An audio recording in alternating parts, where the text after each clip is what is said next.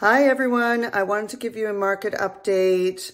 There is rumor right now in the national media that the market is slowing down, but that is certainly not the case in Bergen County. We are still in an inventory crunch and um, our team is selling homes as fast as they can come on the market. So if you're still on the fence, now is a good time to reach out. Um, if you're not sure where to start for listing your property, we are running a staging seminar this February the 8th at the Glen Rock Library at 7 o'clock. It is free to attend and we hope to see you there.